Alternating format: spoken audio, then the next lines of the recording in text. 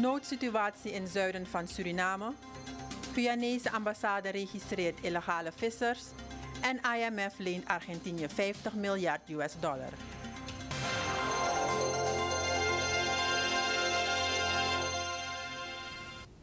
Goedenavond, het is vrijdag 8 juni 2018. Welkom bij het STVS Journaal. De regering heeft zich in een spoedoverleg gebogen over de alarmerende situatie in het zuiden van Suriname. Als gevolg van de zware regens van de afgelopen maanden zijn een groot aantal dorpen onder water gelopen. Door deze watersnood zijn ruim 2000 inwoners van dorpen in het zuiden van Suriname nu verstoken van drinkwater, voedsel, elektriciteit, kleding en medicamenten. President Desiree Bouterse heeft tijdens dit spoedoverleg aangegeven dat er twee operaties zullen worden uitgevoerd. De eerste is om de inwoners naar een veiliger onderkomen te evacueren en de tweede is om zo snel als mogelijk de humanitaire hulp op gang te brengen. Het gaat om de inheemse dorpen Kwamalasamutu, Sipalivini, Tepu, Apatina, Alalapadu, Kuruni, Amatopa, Palmeu en Kawamhakan. De regering zal in goed overleg met het NCCR en het Bureau Volkscontacten bezig zijn om de hulpgoederen naar die gebieden te transporteren.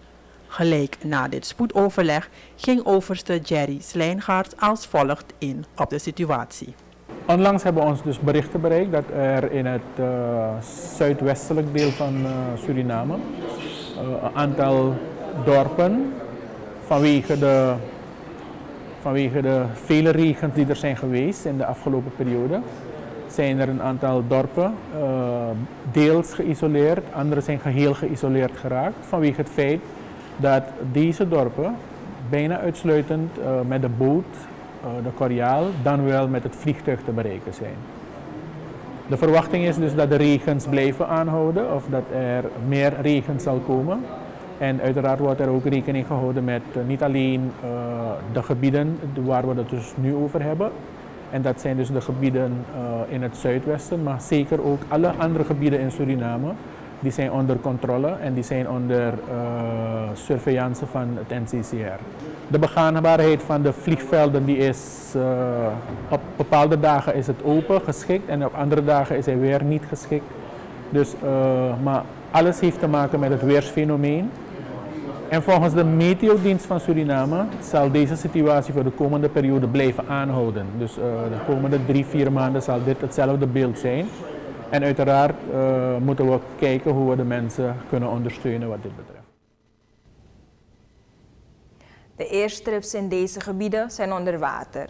Hierdoor is luchttransport van hulpgoederen niet mogelijk.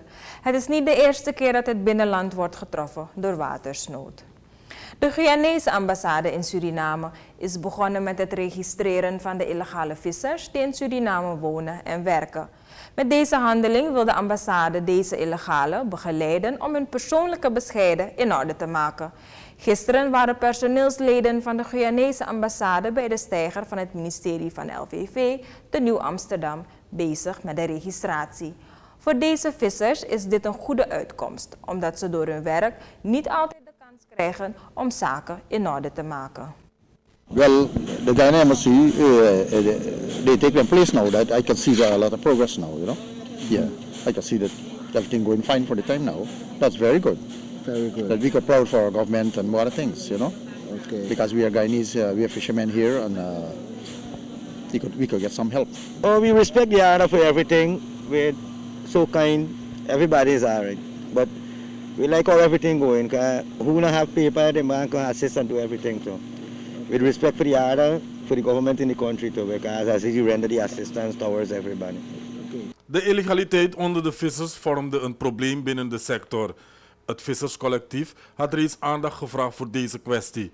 Volgens de voorzitter van het visserscollectief Kommerwijnen, Willem Mohamed Hussein, is dit een van de redenen die hebben geleid tot een schaarste van manschappen op dit moment.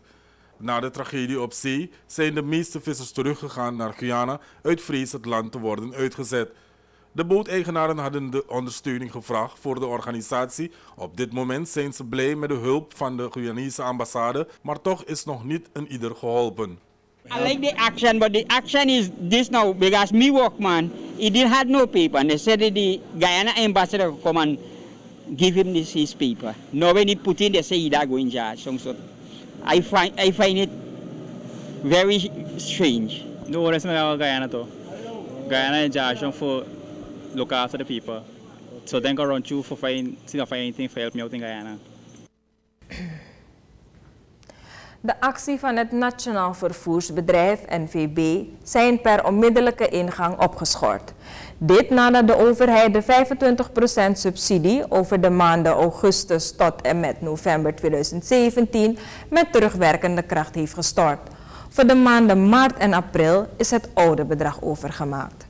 De achterstallige betalingen hadden ertoe geleid dat de NVB-bus- en boothouders tot de actie overgingen. Dit besluit werd genomen op een algemene ledenvergadering afgelopen maandag. De bussen werden in de garages gehouden en de boten liet men niet varen. Vanaf woensdag. Vandaag zou dus de derde dag zijn van deze actie. Momenteel lijkt de rust te zijn teruggekeerd bij de bus- en boothouders van de NVB.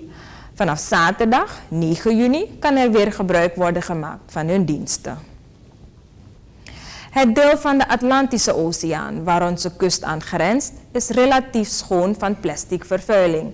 Ondanks deze realiteit vraagt Monique Pool, milieuactiviste en directeur van de Green Heritage Fund, aandacht voor het verantwoord omgaan met voornamelijk plastic afval dat terecht kan komen in de zee. Is elke vervuiling te veel?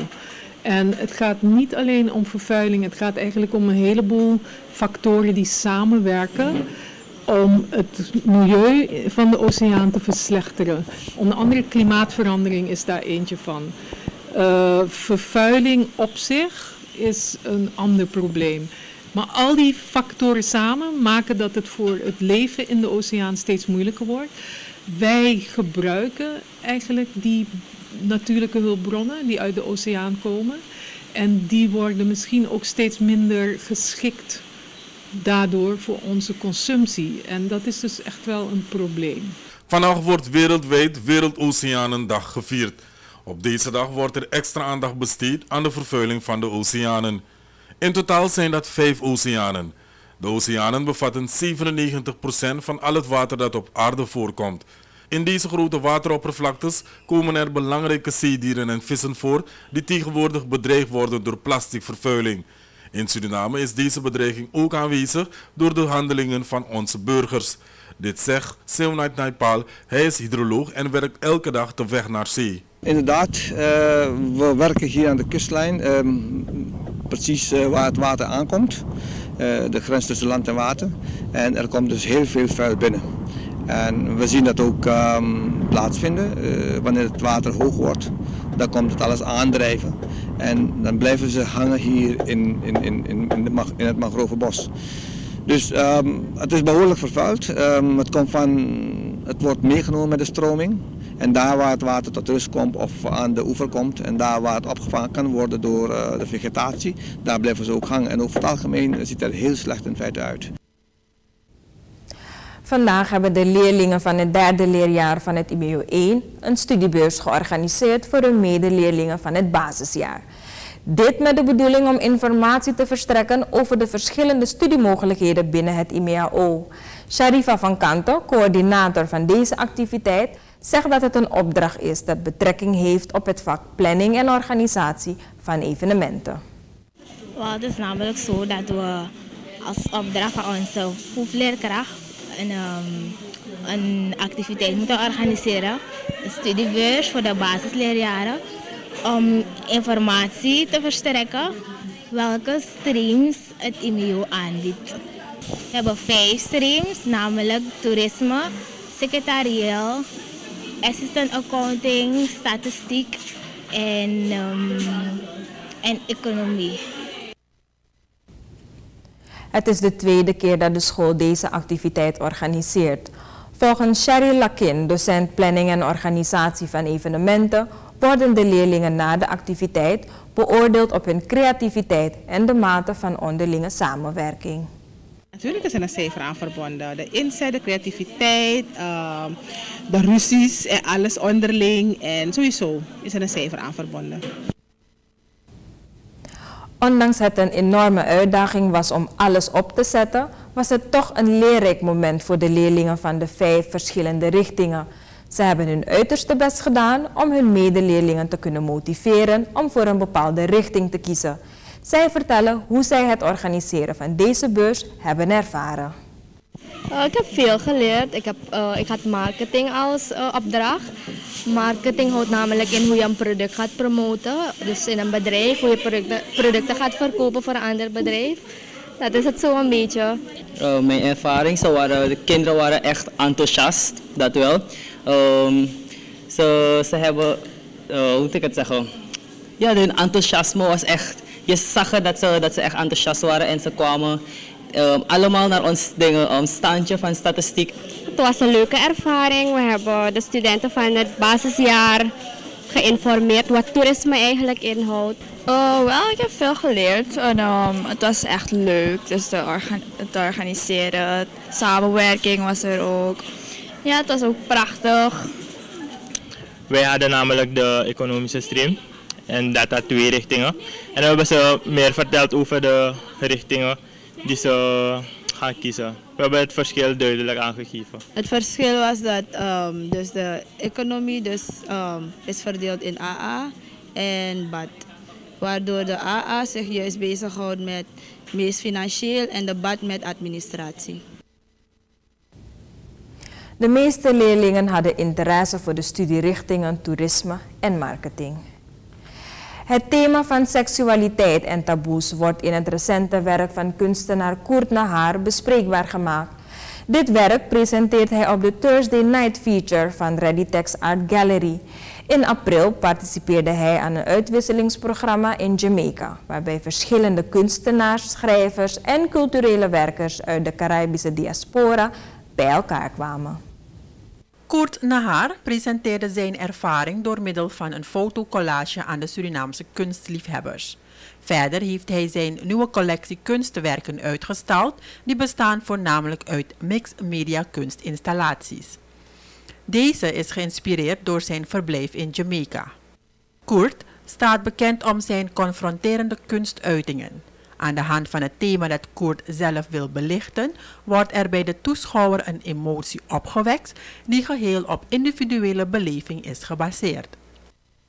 De kunstinstallaties die er te zien zijn geven duidelijk aan dat het thema gaat over seksualiteit en taboe. De expositie van Koert Nahar is tot 16 juni te bezichtigen in het Readytex Art Gallery aan de Steenbakkerijstraat.